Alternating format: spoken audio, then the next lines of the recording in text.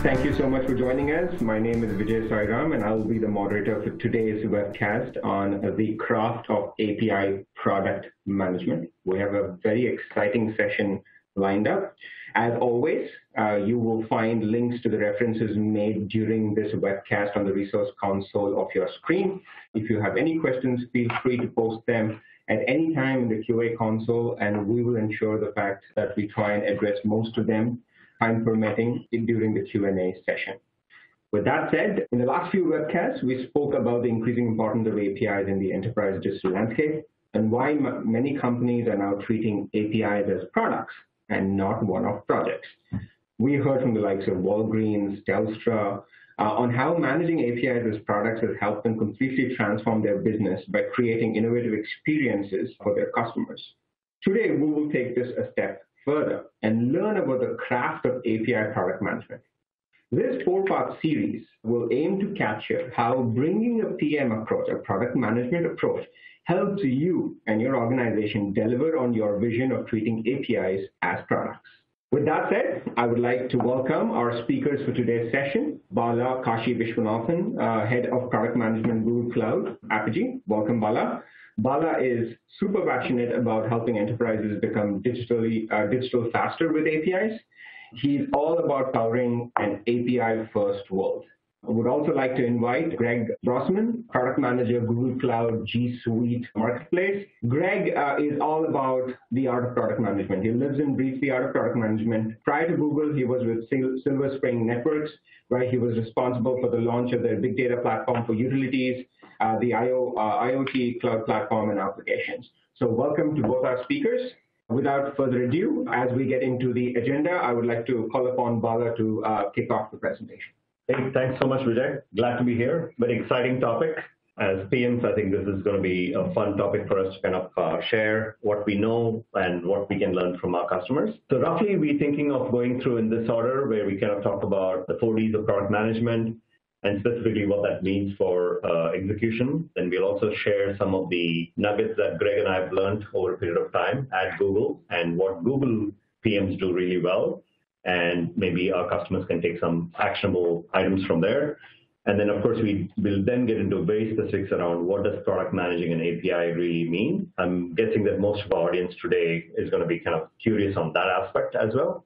And then we'll uh, kind of talk about some of the things that we're going to follow up from this webcast into the next series of webcasts we're going to plan. And like Vijay said, we always will welcome questions. We want to keep this as interactive as possible, as much we can address. Let's get into the product management itself.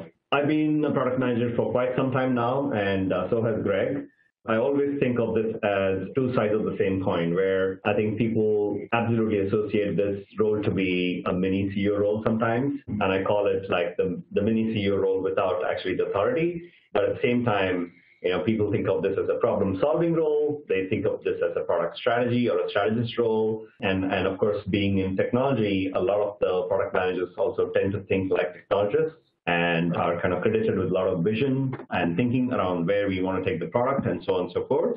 In my experience, one of the things that comes across or jumps out for me is more about the product manager's role as somebody who brings an idea to fruition. Uh, more importantly, I joke saying that if you're really in for credit in a particular job, PM job is probably not the best job because you really are successful when you bring along a lot of people and make the product successful. So you, your impact and your success is ultimately dependent on the product itself. And if the product doesn't succeed, in all humility, the product manager needs to take the accountability for being the person who's accountable for that product success or failure.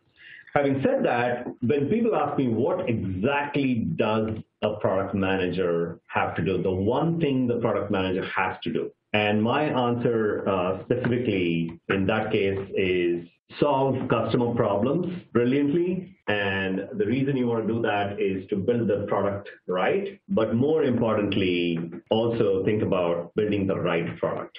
So that's what I think about in terms of saying solving customer problems brilliantly to build the product right and to build the right product. So how do how do I think about product management in terms of a framework? I have come across, uh, at least in my own mind, uh, kind of four Ds to the product management as a framework. And I've tried to practice this and share this with a lot of my fellow PMs as a way to kind of think about product management. And, and the way I think about this is effectively the four Ds of dreaming, driving, delivering, and delighting.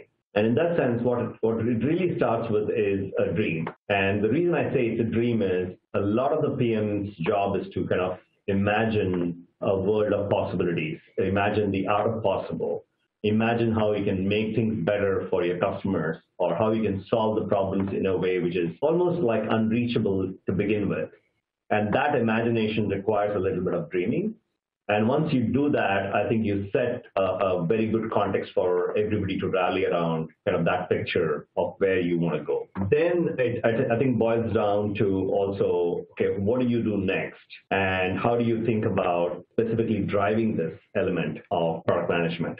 And here you're really driving a lot of specifics on how you think about data, insights, driving decisions, and so on and so forth. And then it becomes more about delivering, because as you think about driving these things, you've got to have a deliverable. And sometimes we think about deliverable as, as what we call as a minimum viable product, or sometimes we also call this as a minimum lovable product because you need to get the traction with your users or customers in actually starting or beginning the journey and loving your product. It's an early version and really iterating on that particular early version to get to the point where the product actually has legs and is starting to grow and so on and so forth. Then it comes to about delighting the customer. At the end of the day, if you want a long-term relationship with your customer and the user, it is really about making sure that they stay delighted in the product.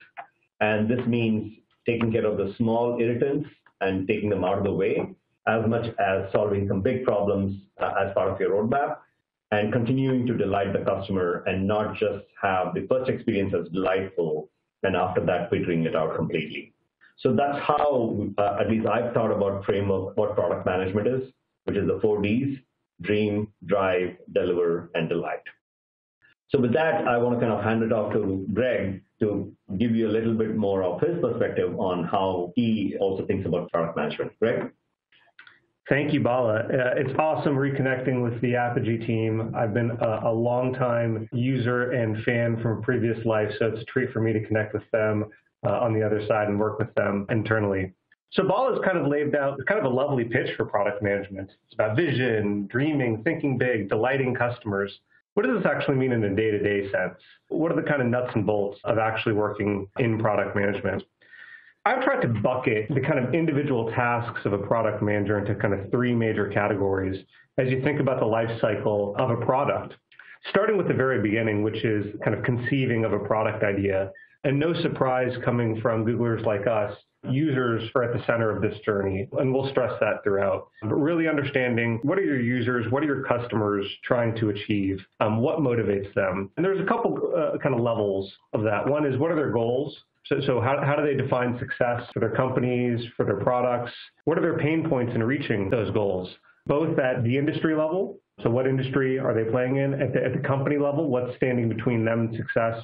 And then finally at their individual roles. And so we frequently tie all of our kind of product thinking back to really making sure we understand this customer journey. Once you've got a firm foundation for thinking about customers and users, pain points and goals, the next challenge is thinking about, right, where does a product idea fit into this?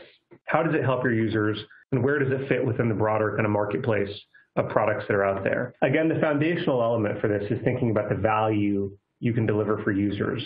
What pain point are you solving? How are you helping them achieve their goals, grow their businesses? So really making sure that user value is foundational to all your product thinking.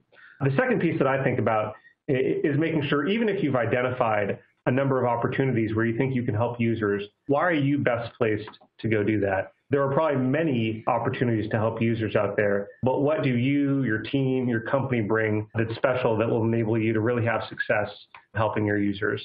The third piece is, all right, so you've identified user goals. You think you have a, a product idea that fits your company's strengths. How do you actually make this a, commercial reality?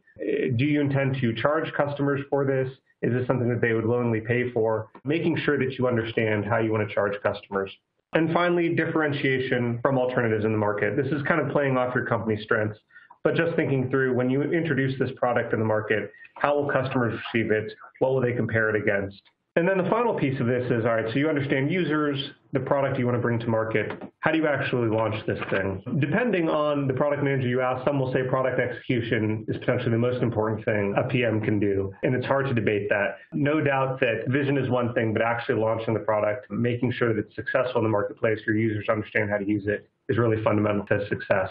There's a couple things that you know I think about for any kind of product management role. One is fundamentally scoping the needs for users and what this product needs to be able to do. This will kind of ties into the second point, which is empowering your colleagues around you to help build the product, whether that's in engineering or design, legal, sales, making sure they understand what is the vision for the product, what is it designed to do, uh, and enabling them to be successful in building this product out. Once you've brought this product to market, how do you actually know it's successful? From a very early stage, we often talk about defining success metrics. Think about what does it mean for your users to be successful? What does it mean for you and your product to be successful?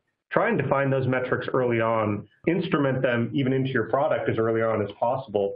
And then when you launch it, frequently look back as, as objectively as you can and analyze, are we hitting the metrics and the targets that we wanted to? And finally, the fourth piece is just constant user feedback. So our users, do they, do they understand how to use the product? Is it aligning with the, the kind of pain points and value propositions that you put out there? Um, so constantly engaging with your user community. And this is a theme that I think we, we, we, talk a lot about at Google. Certainly, Bala and I, as we were talking about this kind of topic, users are at the center of a lot of what we do. So we wanted to kind of take that framework for general product management and think about what do we actually focus on in Google? What may be a little different from what we've seen product management at other companies or other roles? What are the things that really make uh, product managers at Google successful? So we laid out uh, our trademarked six G nuggets. So the first thing we think a lot about is talking to users. I think this is just a fundamental thing. And there's an interesting spectrum to consider. You know, many PMs will start with the assumption that I am my user. I know exactly what I want. And in a lot of ways, that's right. You should use your own products. There's no doubt about that. But don't assume that your level of expertise about the product or what you're trying to achieve is perfectly aligned with your user community. Sometimes you may be shocked when you actually start talking to a wide swath of your users that they're actually very different from you, not just in, the, in what they're trying to achieve, but even in how they use your product, how they think about your product.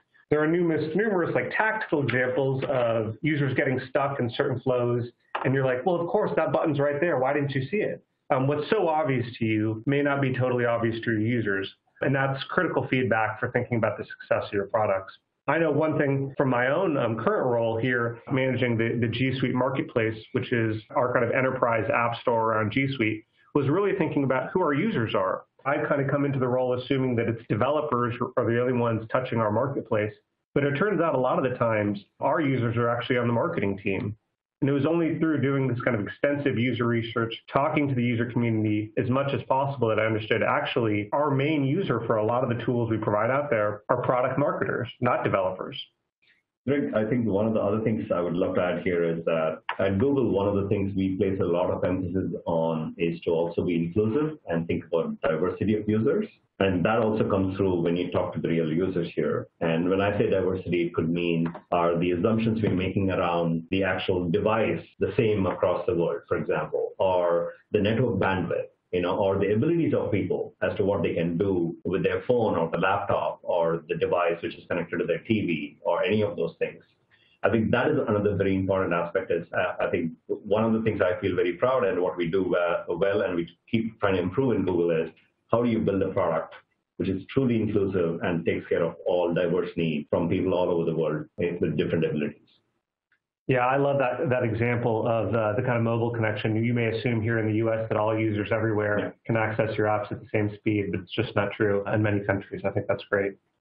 So I touched on this a little bit earlier, but leveraging your company's strengths, this is something we talk a lot about at Google. And, and you know, there's kind of a couple examples that come to mind for me around this shift from there's many opportunities, go do them all, but do them kind of half baked, to really focusing down on a few opportunities and really differentiating yourself no doubt at Google, kind of scale is critical to everything we do. We're, you know, we're at an incredible scale. There's a lot we can do at that kind of scale. Within Google Cloud, we talk a lot about AI and ML. So Google is really focused on the TensorFlow uh, product uh, as a way to really uh, leverage the existing expertise that Google has in those domains and open that up to, to, to customers. And then even within G Suite, you know, real-time collaboration is foundational for a lot of the products we focus on there. And so we try and make sure anytime we're thinking about new features, new products within G Suite, we really want to leverage that kind of DNA around real-time collaboration throughout data. So data is really critical. You know, Bala and I were talking about the role that data plays, and we were reminded of uh, this awesome quote that was out there. It's from um, Jim Barksdale. He said, "If we have data, let's let's look at data, and if all we have are opinions, we'll go with mine."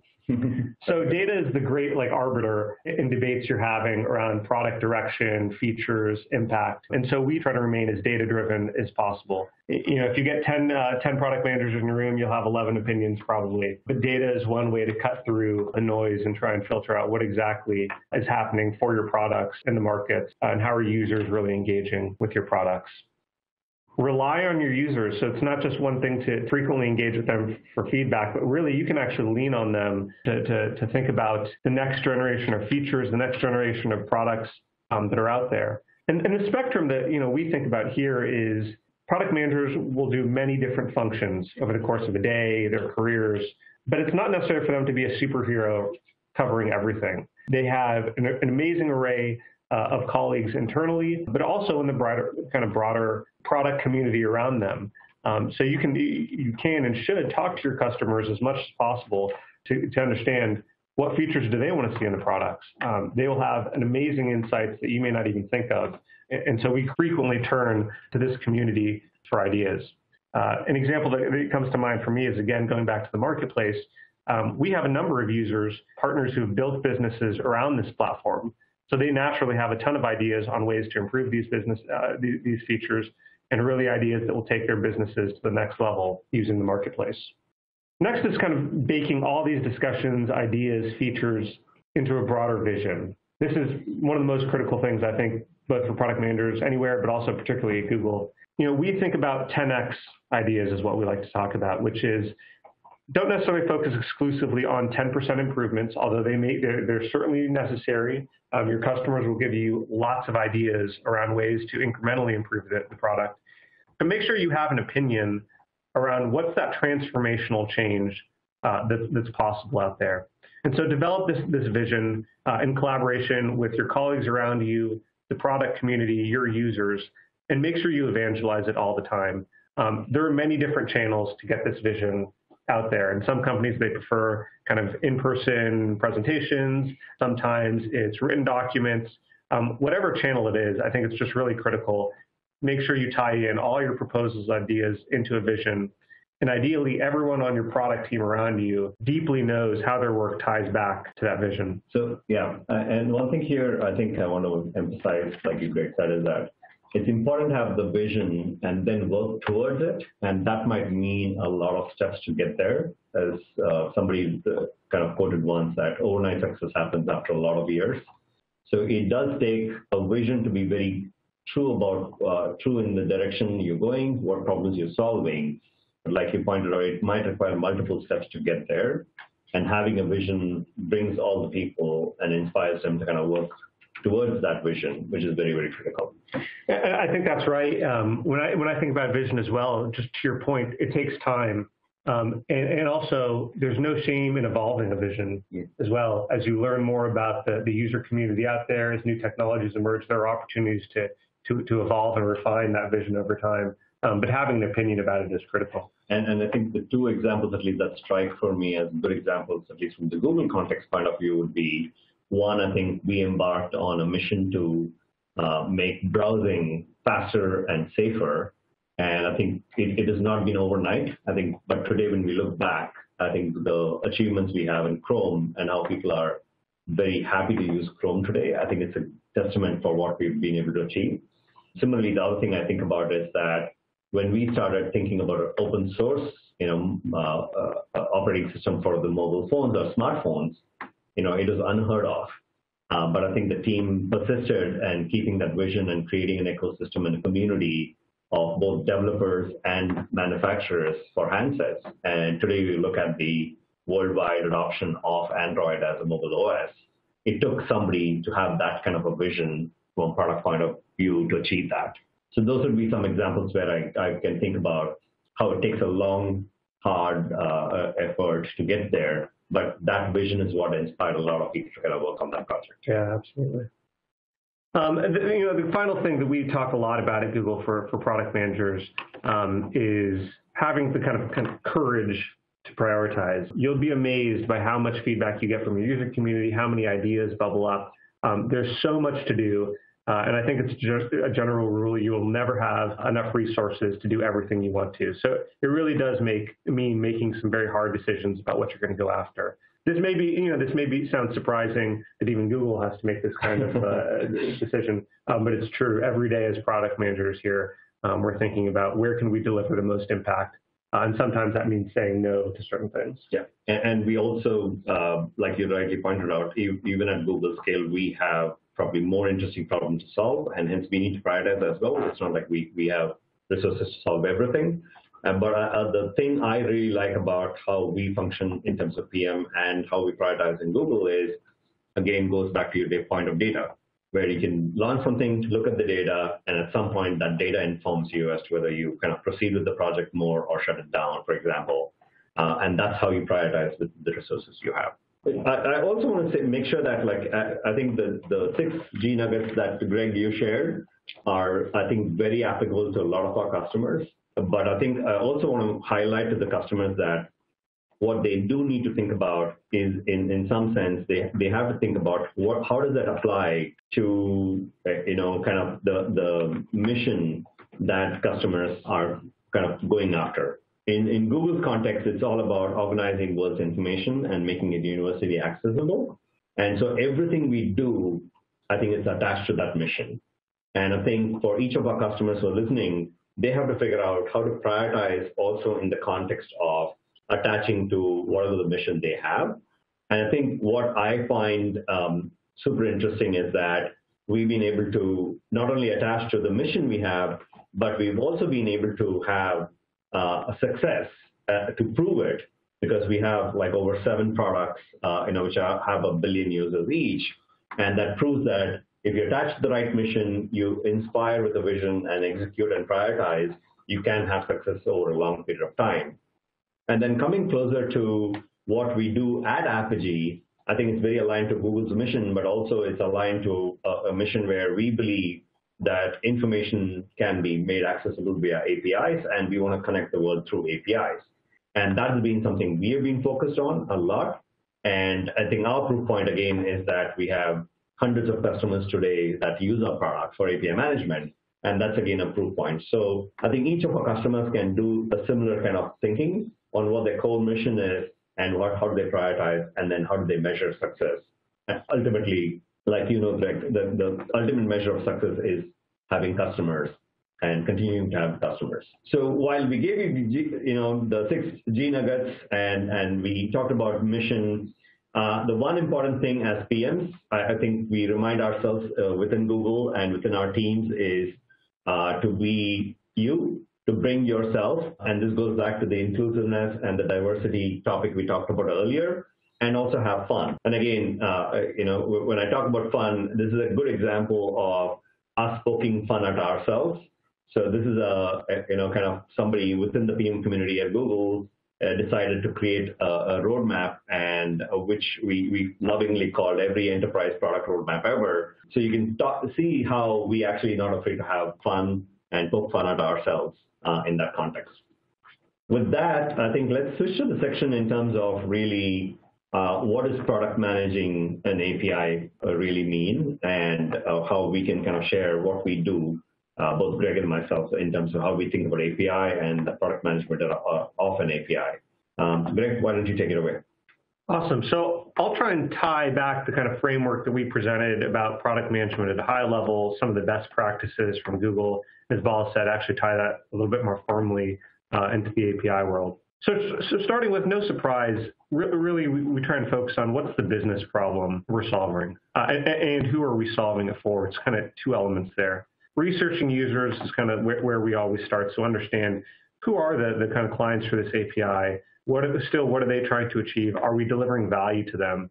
Uh, and, and, there's two additional elements that I kind of think about here. Validating the idea as much as possible. So once you understand users, where their pain points may be, um, and, the value you pose to provide to users, um, validate that as much as possible through as much research as possible. Talk to users, customers, um, others in the market, uh, and make sure that this is real. And just make sure you understand who who's getting value out of this. Um, oftentimes, obviously, whoever's building apps on the other side uh, of this API platform, um, they'll actually be, be, delivering those apps to their own customers, to their own end users.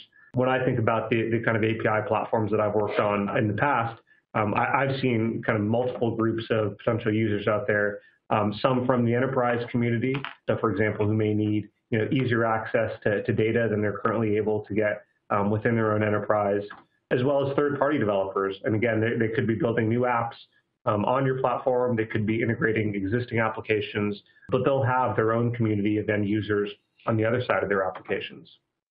Understanding their users. So, so again, eh, the, big revelation to me when I first started working on, on APIs is that there are real people actually developing on these. Bala and I have been joking the past couple days that uh, the bots haven't taken over yet. Um, there are real people out there developing who have opinions, ideas, preferences. And one of the ways that this kind of manifests itself uh, is, you know, for me working with standards that are out there. Um, one example from, you know, that I was dealing with a few years ago was um, what time standards to use when when when um, reporting timestamps. There's you know a couple different opinions. You know, Unix time.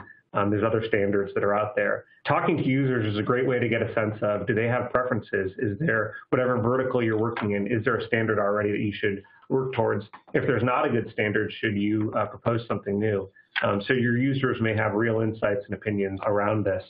Uh, and, and a good example for this specifically, bringing it back to the API concept itself, uh, since we talk about API management, is some of the work that we've been trying to do uh, in partnership with other uh, vendors and companies in coming up uh, with a clear standard around Open API spec and trying to see how that can become an industry-wide standard for how you describe APIs and design APIs. And I think this is something we'll touch a little bit more uh, in detail in the next uh, session of the series. But to your point, I think those things help a lot in understanding from the customer where the pain points are. And this open API spec is one way to solve a particular customer pain point, which is how do you standardize the description and, and, and the design for APIs across every enterprise customer? Yeah, I think that's exactly right. Your developers will thank you uh, for adhering to standards that they're familiar with as much as possible. The third element I'll just touch on there is the kind of MVP, the minimum viable product. Um, obviously, this is a popular way to get a product to market and start collecting real feedback from real users out there. In the enterprise context, it can be a little bit more challenging in that you still want to collect as much feedback as possible, but there's a certain quality threshold that you need to adhere to, um, particularly when working with developers. If they're investing their time and resources in integrating their applications with your API suite, uh, it may not be acceptable to do the kind of level of iteration that you may otherwise want to do in other contexts. So I, again, I think this goes back to really understand who are your users. There may be some users who are more comfortable iterating with you early on uh, as you're refining your API suite. And this user feedback, no surprises, at the center of you know how we think about the, the kind of product lifecycle. We've touched on a lot of these elements, um, conceiving the products, actually developing them, working with you know your developers, UX, documentation, bringing the products to market, whether that's via MVP or some other model, continually improving uh, those products with, uh, with, with, with, user feedback. And I think particularly for the API world, thinking about end of life, how do you actually uh, improve products, backward compatibility? Um, it's really important as you're thinking about APIs as products to make sure that they fit into uh, this kind of product lifecycle framework. And I think Bala will talk a little bit more uh, about that in more detail. Once you understand the kind of business case that you're, you're targeting, the use cases, uh, the users that are out there, the use cases is kind of the next element. Um, as I mentioned before, uh, generally these are applications um, that are being integrated with your API suite that, that, are providing value to another set of users on the other side of those apps. Um, so understanding who are those users and what are the use cases that your API suite needs to needs to meet. And there's a couple of things that come to mind from my own time uh, managing an API suite. Examples include data types. So is this raw data that you're delivering to applications, or is it process data, um, aggregations, normalized data, or is it a mix of both? Usage patterns. Uh, do the clients on the other side of your APIs, will they be giving you uh, a fairly constant stream of requests, or is it highly variable, in which case you need to architect um, your system to, to, to manage that? The reliability uh, of your APIs. So are these critical messages that are going through that there may only be one message and it's got to get to that client at the right time, or is this something where clients are able to make requests uh, later on for any drop messages? Uh, and finally, upgrades. I think in my own experience, this is something really critical to think about. Um, how do you manage downtimes? How do you manage upgrades? Um, how do you think about backward compatibility for, for your developer partners um, on the other side? Uh, and then finally, a business model. So, you know, it's one thing to understand the business problem, but how do you actually transform that uh, into, a, into an actual business model? When Bala and I were, were chatting about this, uh, obviously one, one possibility is to monetize it, but really there are, there are multiple ways to think about driving value from the API suite you're bringing out there. One is naturally directly monetizing it, um, but the other is kind of strategic benefits. And I've seen kind of both models where you're trying to foster uh, an ecosystem uh, of apps uh, around your API suite. Either way, whatever kind of model you choose, I can't iterate enough how, how important it is to tie this back uh, to the value you're delivering. So make sure your, your, your users understand that value uh, and that your business model aligns with it. One interesting note here uh, is customer expectations. So particularly in the enterprise use case, you may be dealing with um, with users who expect, let's say, a flat billing model, who don't want to see surprises in their bill from month to month. You may have other customers who want to directly tie their billing to usage. Um, and so again, this is really understanding who are the users that are developing applications on the other side of your API suite. And you may need to be flexible, particularly early on when you think about uh, the business model uh, you want to uh, want to move towards. I couldn't agree more with you, Greg, which is like really start with the business problem, understand the users, understand the use cases, and then figure out how to monetize. What do you want to monetize? If you want to monetize, I think was a key takeaway from you. I, wanted to actually uh, switch gears and talk about APIs uh, and how you product manage product manage APIs, but more almost like a practitioner here. Uh, and one example I would give is that even for the API, I think the PM needs to think about being the first user, and I think that's critical. Uh, in our case at Apigee, what we do is we li literally have our own management APIs, which is what I, we use to build our UI.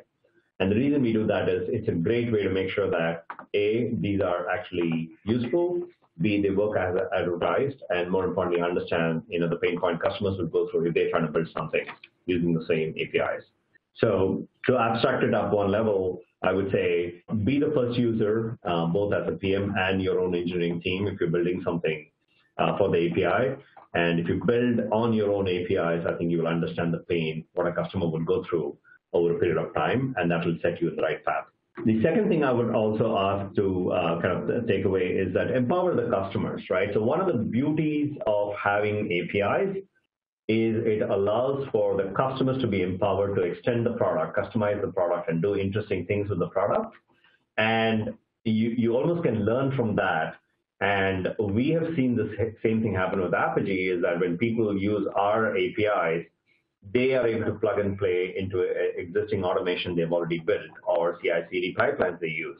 Or sometimes they even take data out of our system and use that for some other purposes. And all these are possibilities. And at some point, as you know, Greg, one of the challenges we're going to have, uh, and each one of our customers who's listening in as a, as a PM, is that you'll never have enough resources to build every feature. But if you can unlock and empower the customers to use the API, for the subset of customers who want something very, very important to them and which is not applicable to a large set of customers, you've given them a way to kind of eh, enjoy that feature and without you having to spend the time. So I think there is an aspect of empowering customers there, which is very, very useful when it comes to if you think about APIs as a product feature and not as an afterthought. So it's part and parcel of the feature, and you should think about the value proposition of the API as much as you think about the product itself. The third one, um, which is probably near and dear to a lot of our customers if you, you're joining in, is I think just like the product lifecycle, I think there's an API lifecycle. And this is something we do talk to our customers a lot. In fact, we try to build our product around helping with this vision of API lifecycle, and we constantly are pushing ourselves to make sure that we do a better job and we improve what we do for API lifecycle for our customers. But effectively, it follows a very similar trajectory like which you pointed out, Greg, in your product lifecycle, which is you've got to build an API, and there's of things involved in this. then you understand how it's being used, understand the data, understand the use cases, and then finally, you know, make sure that it's available and running efficiently and uh, reliably for our customers. And that's exactly what we try to promote in, in the product. But more importantly, that's what we promote in how customers should think about their own APIs in terms of an API lifecycle. Given that we covered three important pieces, one, uh, you know, why and what product management is all about. Then we shared, I think, the Google best practices, or like we called it G nuggets for uh, product management. And then we went into specifically what you should be thinking about when you're product managing an API. I think what I want to switch gears is to really talk about what, what's next. You know, what, what do you do now that you've gotten this information? Going into what next, I think uh, the first question I would probably pose is, have you got a PM? Right? And, and the reason I ask this question is that when I interact with a lot of our customers, I think if you went through the previous slides, I think each one of you can associate with probably the things we described as something you do, but some of you may not actually have a title called product manager, and that's fine. But I think it's very important to understand that there is a person or there are, there are, there are folks in your team who specifically do the things we described or Greg and I described as important things to do for an API. I think that's a starting point. When, when Greg and I think about the attributes of PM, eh, from a Google point of view, uh, this is how we kind of think about it and frame it. For us, uh, for a PM, it is very important to understand the scope, and this means scope of product, scope of the organization they're trying to influence, and then of course, you know, having uh, the technical scope, clarity, and insights. And this is very, very foundational to every PM being successful uh, at Google. And we think it's very translatable to pretty much any organization out there. That if you're a PM, if you don't have the clarity and scope of the product, organizational influence, and the technical insights you can bring, then I think you don't uh, have a, a, good foundation to kind of be successful. The second thing would be to really have uh, the core skills of a PM. And that bo- this boils down to having good product insight, having good design thinking and collaboration with your design partners, uh, and again, to Greg's point, having a very inspiring vision around what you want to really change in terms of change the world for your customers and how you want to do that. But then having very clear methodical ways to execute on that. And then, like Greg pointed out, ability to communicate that using the channels appropriate for your customers or your organization. At the end of the day, I think uh, the part of the PM skill which is extremely useful and important is, I think, leadership. And this is almost like, I think the, the term I've heard repeatedly is called servant leadership, where you are here to serve the customers and you have to bring together all your constituents to serve the customers. And that's how you should think about it. Um, and as we've joked about before, uh, this is one of the PM roles is where people think themselves of CEO is, is a CEO without authority. So you get all the responsibility, but not the authority. And hence the leadership part is the critical part. How do you lead how do you serve your customers, and how do you influence people. And if you do the, that scope and the skills correctly, then I think you have significant impact, and it's visible uh, and it's measurable, and I think you automatically get uh, acknowledgement even without you having to kind of ask for it. And that's something we, we thrive here at Google, and I think this framework applies to any PM out there and how they think about it. Anything you want to add, Greg? No, I think that's that, that's exactly right. The scope is an interesting piece only insofar as you kind of think about the immediate scope that you're going to be focused on on the product side, but also where that fits into the, the broader scope that your product team, your product group, even the company is trying to address. And so, uh, you know, to Bala's point around the vision, making sure that that vision and that scope just ties into that broader kind of company strategy. Uh, and finally, on the impact side, this I think ties really clearly into the metrics. So making sure you're using data, you're defining what is secure, what does success look like, uh, and constantly measuring that. So, so the next I, guess, Steph, one of the questions you might ask is that do we grow or hire? So the one thing Greg and I can vouch for is hiring for PM talent right now is probably the hardest because of what we just described in terms of the scope, the skills required, and how critical it is to success of any product. As much as you should try and hire great PMs and who can manage your APIs, I think there is absolutely nothing wrong in growing the talent within your companies.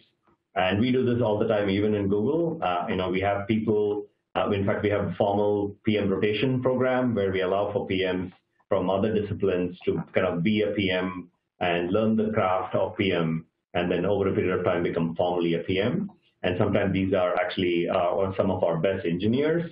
Uh, this is sometimes our, our, best kind of customer-facing, you know, technical uh, folks. Sometimes it's somebody who's in a, a, much more of a technical program management role. So we kind of welcome and give the opportunity within Google to actually cultivate this talent and actually help them uh, be successful and then kind of bring them into the fold of PM. Um, I think we have a formalized path for that. Uh, whether you have a formalized path or not, I think I would really encourage each one of you to take this as a best practice and think about how can you grow the talent within your company for folks to become PMs and use the use the community outside your company, use the community of PMs within your community to create an environment where people can actually come, learn, grow, and then become PMs. Uh, we believe that having strong, skilled PMs that can only benefit you and your company, but also benefit the world at large. Because as PMs, one thing we all know is when we see a bad product. So uh, uh, the world would be a much better place if we had great PMs. Right? Yeah, and I'll, I'll just echo that, particularly on the point around there are multiple channels where we see PMs come from. And I think particularly at Google, we've been formalizing that process to identify, to attract, um, to onboard PMs for, from multiple kind of backgrounds. And I think that that's something that I've seen more broadly even outside of Google. And I think that's something to consider potentially um, in your own kind of organizations is thinking broadly around where do people who are passionate about products, who love connecting with customers, who can generate vision, where might they be? And it may not be in the traditional places that you may think they reside. So I think be very flexible, be open to candidates from a, a variety of places within your uh, domain. Yeah.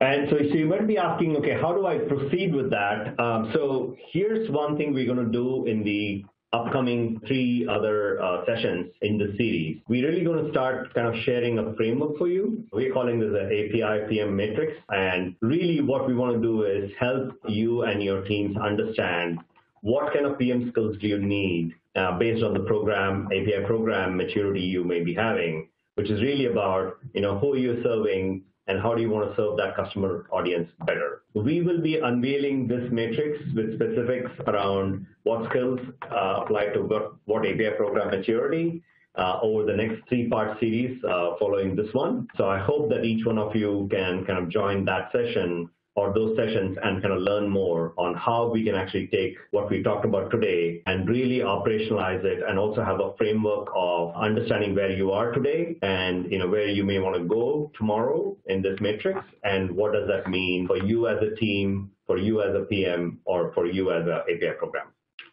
So uh, before we get into some Q&A, uh, I kind of want to um, make sure that we, we do talk about the fact that we do have a product that actually helps product managers around APIs. I'll be remiss if I didn't talk about the API management product itself called Apigee Edge. So if you are interested, please do sign up and try that.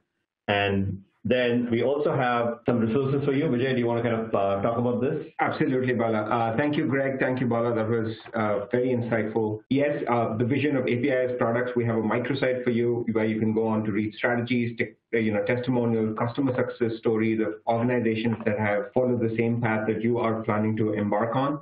Uh, we also have previous webinars that you can consume. Uh, the links to those resources are available uh, in the console. So Bala, this is uh, this is a very interesting question to the both of you, and um, I would like this.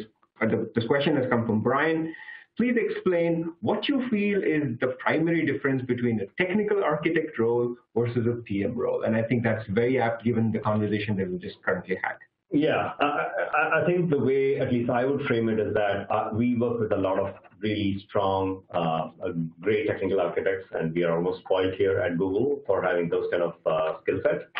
The way I think about it is that the technical architect is, if I go back to my first slide on what do we PMs do very well, we as PMs need to solve customer problems brilliantly, and we are more here to build the right product, whereas the technical architects, in my mind, are here to help us build the product right. That's the difference, I would say. So it's a partnership, but I think the technical architects keep us honest by building the product right and PMs have the responsibility of building the right product.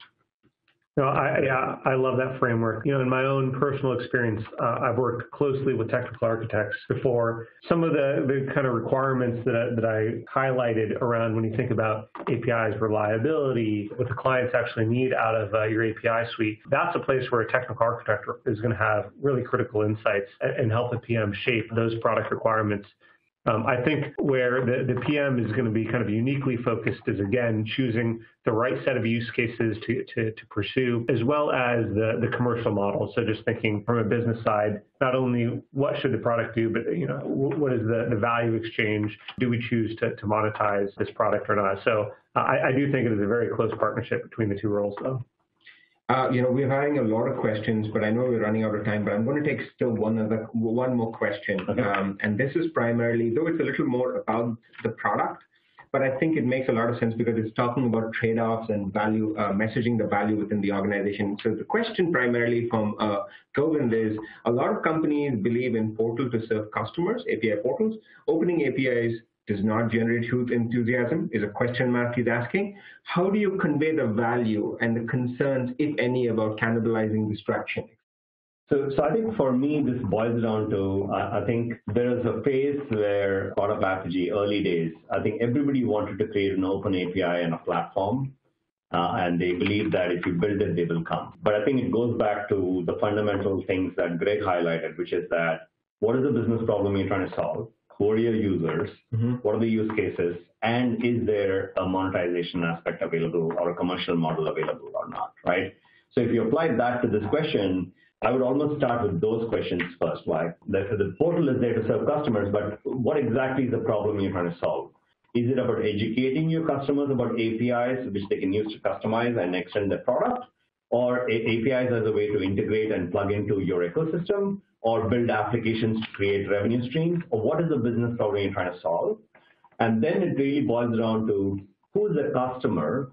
And in this case, I think automatically you take care of the, the cannibalization or any of the other distraction challenges is that if you're very clear with the customer and how the commercial model has evolved, then I think you have a very clear story to tell internally and externally as to what you're doing. Greg, anything to add? No, I think it's a it's a great question. You know, I've certainly struggled with this previously as well. One of the things that you know I've really you know seen is kind of tied back to that prioritization idea where we're never going to be able to do everything we want to. Um, and so one of the things that having uh, a robust API suite enables us to do is to really empower users, customers, and the ecosystem around us to fill in that suite of features and products that you know we're not able to directly provide today. So I think that in addition to a portal, having additional apps that are out there in the ecosystem really end up enabling you to deliver uh, additional value to your customers and users. And that's what I've always tied it back to is ultimately our, our, our users, our customers will be more successful if we've got the right API suite in place. Um, and, and, so that's what my pitch has frequently been. Uh, thanks, Greg. Thanks, Bala. We're completely out of time, but we are not done with this topic. Uh, there's a part two. As I mentioned, this is a four-part series. There's a part two on October 11th, which is launching learning and the API PM discipline. You know, we'll use this. Uh, we're going to use that session to talk a lot about organizations or API providers that have launched API-first products. Uh, how do they measure success? Uh, you know, how do they establish a product management team? So we're really looking forward to a very interesting next session. So I encourage everybody who's on the webinar to kindly register for the upcoming series. With that said, we're completely out of time. We really thank you uh, for your time today. Um, and, uh, you know, until the next time, keep your feet on the ground and keep reaching for the stars. Thank you.